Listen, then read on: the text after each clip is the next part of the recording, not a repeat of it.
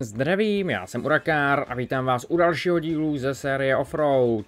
Eh, čeká nás další trojice závodů, kde můžeme vyhrát nová auta. Eh, budeme postupovat stejně jako v předchozích trojicích. Eh, tady můžeme vyhrát Range Rover Sport, což je další docela zajímavé auto. Takže tím začneme, abychom si ho mohli rovnou koupit. Vezmeme si tady tedy opět ještě Discovery. Ono to Discovery a tady na Range Rover, které se ho teď budu snažit vyhrát, tak jsou hodně podobná auta. Uh, ten, to Discovery se o něco lépe řídí a o něco víc vydrží. Ten Range Rover je trošku náchylnější na poškození, je trošku rychlejší, trošku hůře se řídí. Ale jsou dost srovnatelná ta auta, takže to není zas takový boost. Ale já to auto mám rád, takže vždycky si ho taky kupuju, když to jde. Vy aspoň uvidíte další auto. Uh, ono je možné, že díky tomu nám nevídou peníze už na toho Super Sheefa, ale ono to vůbec nebude vadit, protože my potom ještě budeme jezdit ten uh, tournament a vlastně tam si můžeme potom koupit nějaká zase jiná auta, takže tam koupíme toho Super Sheefa, když tak.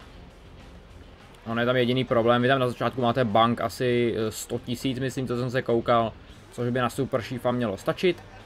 Akorát je tam problém, že nemáte odemčená žádná auta v základu, takže mě tady stačí dojet vlastně do toho místa, kde se mi odemkne ten Super Sheaf a potom se tam můžu nádherně koupit hned na začátku a vlastně celý ten tournament asi bude moc jezdit třeba s tím Super Sheafem. Takže bude asi lepší, když tady vyzkoušíme ještě nějaká ta další auta.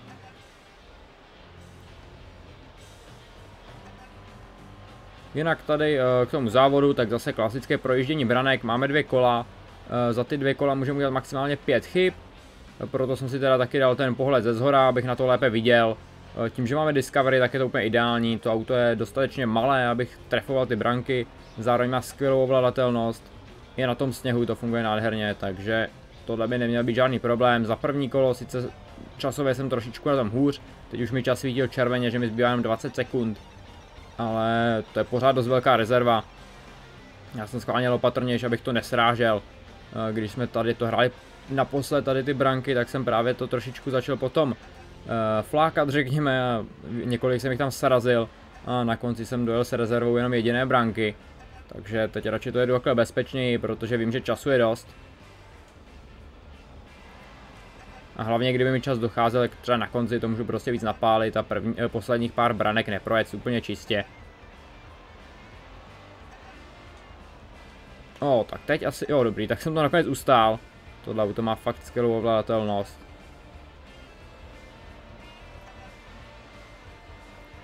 Jsou tady na kufříky, kde bych se mohl opravit. Jo, teď jsem si nevšiml, že jsem trošku poškozený. O, teď úplně nevím, kudy to vede. Jo, tak jsme tu jednu netrefili. Vůbec jsem ji neviděl, nevadí. Vůbec jsem neviděl, kde byla ta branka. No přece jenom, jak to nemá úplně nejlepší kvalitu té grafiky a ono je to dost uh, barevně nevýrazné, tak se to dá přehlédnout.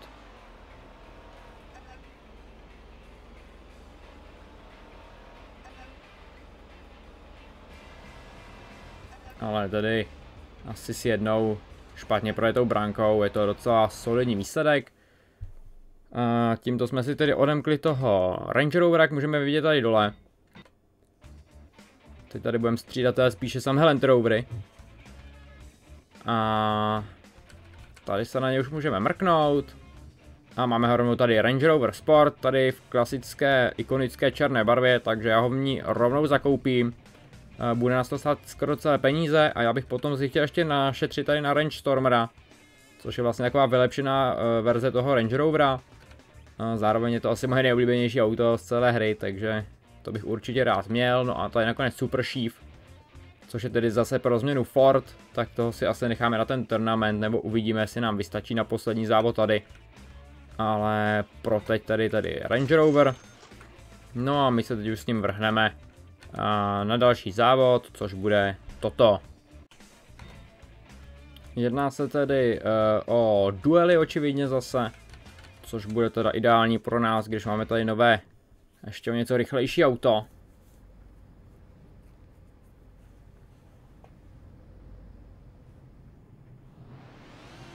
Eh, první náš vyzývatel je teda tady uh, Explorer, Vidíme, že má zase uh, troš, trošičku náskok.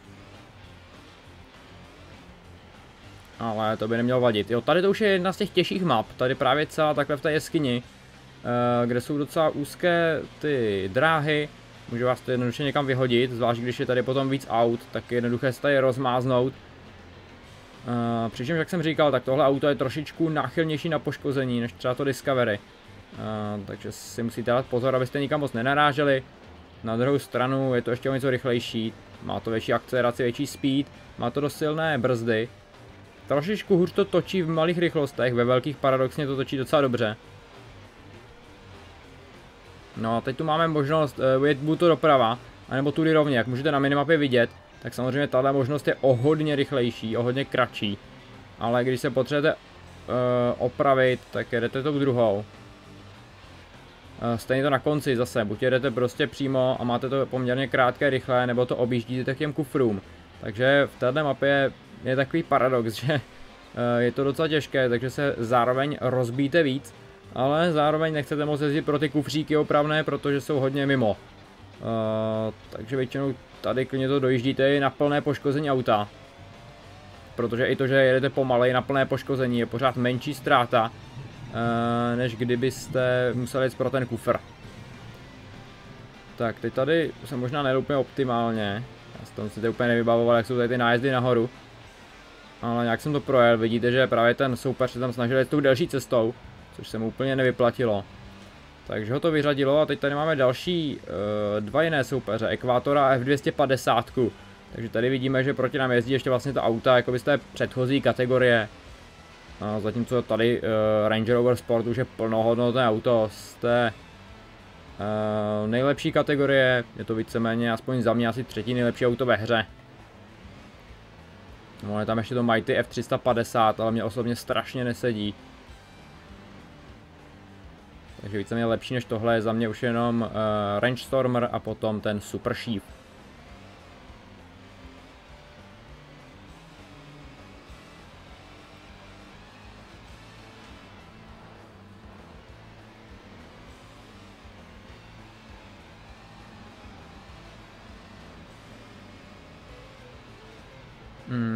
Já tady dost brzdím, takže nejedu zas tak rychle, takže se drží docela za mnou. Uh, mě tady ta mapa popravdě nikdy extra nešla, ale uh, já věřím tomu, že tady to zvládnem. Tím jak máme prostě slabší soupeře, tak já si to můžu dovolit tady jet bezpečněji. Uh, normálně bych tady riskoval víc, ale teď já se nechci moc poškodit, když vlastně tenhle závod pro mě není nějak extra důležitý.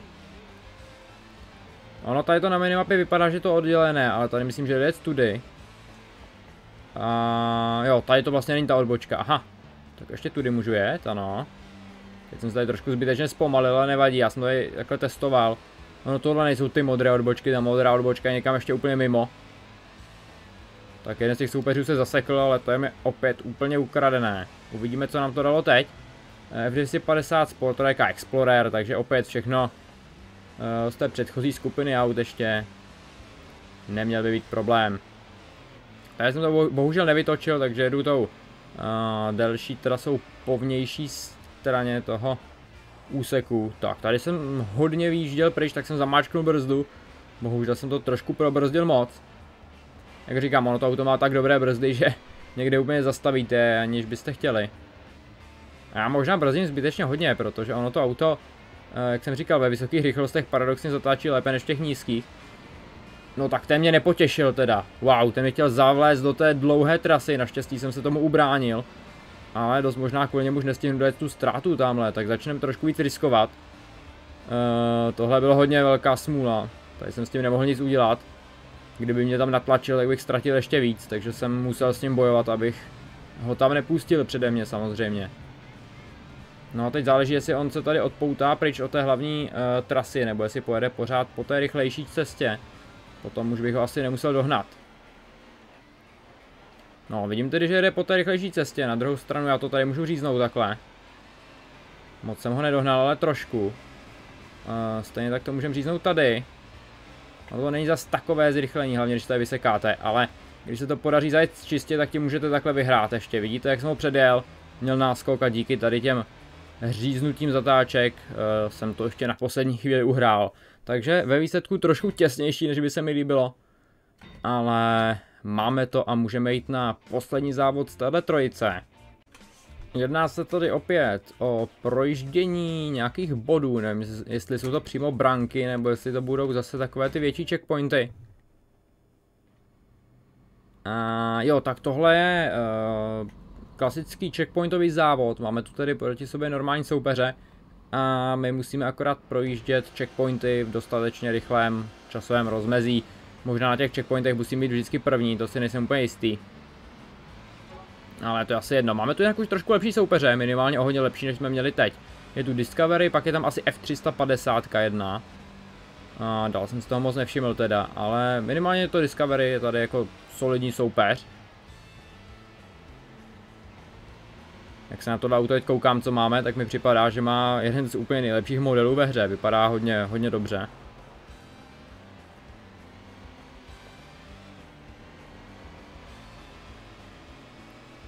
Zároveň je to jeden z těch asi možná nejznámějších Land Roverů, takže určitě mnozí z vás znají toto auto.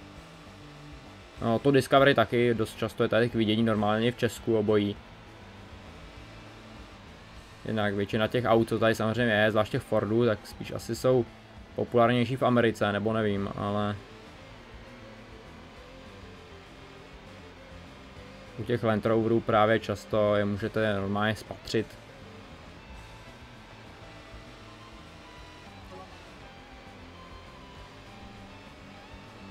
Mně by se hodil nějaký malý kufřík, abych se u tady toho závodu i ideálně opravil. Ale tady v té mapě je to docela pěkně postavené, je to normálně na trati, nemusíme nikam kvůli tomu extrémně uhýbat. Tak, tady jsem se vymás. A jo, vidíte, že jsem, nebo nevím, jestli jsem já musel projíždět tím checkpointem, ale to Discovery to projelo normálně úplně vedle. Vůbec ho nezajímal žádný cíl. Možná jsem to mohl udělat stejně, ale to nevadí. Uh, já jsem tady teď měl trošku problém s rozjezdem, ten sporter, který mě pořád strkal. Tak já tady chvíli nechám před sebou, až budu tady mít pořádně čase rozjet, tak se rozjedu a ujedu jim. Tak tady mě dobře vystrčil v té zatáčce, ten se prostě neptá. Oni ty soupeři vás tady absolutně ignorují, oni jim je úplně jedno, jestli tam jste vy nebo ne. Oni prostě se rozhodnou, že někudy pojedou a ať už jim někdo stojí v cestě nebo ne, tak tam tudy prostě jedou, takže vás strašně často takhle vymáznou úplně jako náhodně, vůbec to nečekáte. Vůbec si říkáte, proč by tam zatáčel a najednou tam prostě zatočí, protože nebere v potaz to, že tam někdo se mu plete a že mu to úplně nevíde, ale pokusí se tam tudy prostě jet. No teď oni prakticky úplně všichni až na jednoho jeli tou delší cestou, takže tady bych měl získat nějaký náskok trošku. Taky, že jsem získal. No ideální by bylo, kdyby se mi podařilo ten náskok udržet. Uh, tohle je tedy druhé kolo, vidíme, že máme 6 branek z 10. Takže je to víceméně normální tříkolový závod. Ty checkpointy jsou tady tak jako prakticky navíc. Vlastně vás to ani nemusí moc zajímat, maximálně možná musíte trefit vždycky ten, tu cílovou čáru, ale pokud ten cíl objedete, tak se to možná počítá také, tím se nejsem úplně jistý. ale předpokládal bych, že ano.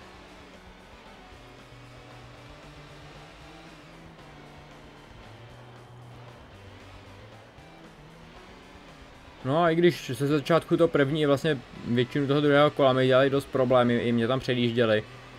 Tak teď nevím, co se s nimi stalo, ale najednou mi problémy nedělají vůbec. Jsou úplně někde za mnou.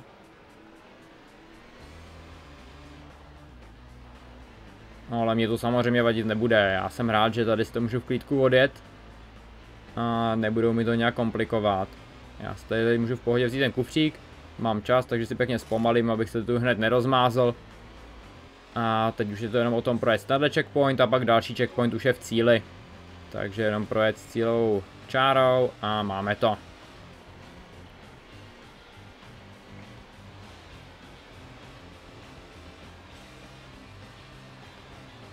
Takže i třetí závod je hotový. Tady jsme vyhráli právě uh, Ford Mighty F350 koncept, což je taková větší verze té F350.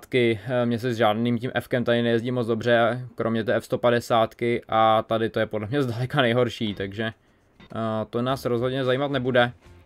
Ale co nás příště bude zajímat, tak bude tady další šampionátek, kde vyhrajeme zase nějaké peníze a zároveň nás to pustí tady dál což už vlastně bude poslední blok tří závodů, potom už tady budeme mít jenom dva závěrečné e, závody. Takže pro tento díl to bude všechno. Já vám moc děkuji za zhlédnutí, budu moc rád, pokud příště zase dorazíte. Uh, zároveň tedy budu moc rád, pokud mi tady zanecháte nějaký ten like, komentář nebo po případě odběr. No a do příště. Ahoj, ahoj.